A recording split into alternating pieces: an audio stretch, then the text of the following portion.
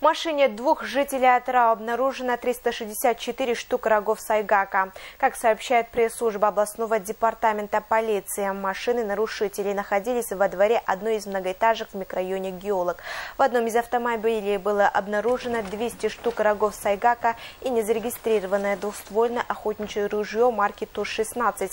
Во втором автомобиле изъяты 164 штук сагачих рогов и оружие марки Байкал МП-512 без разрешительного удостоверительных документов. В настоящее время двум 23-летним жителям Исатайского района и города Атрау проводятся досудебные расследования по части 1 статьи 339 Уголовного кодекса Республики Казахстан. Досудебные расследования проводятся по статье 339 Уголовного кодекса. Это незаконное обращение с редкими и находящимися под угрозой исчезновения, а также э, запрещенными к пользованию видами растений или животных, их частями или дериватами.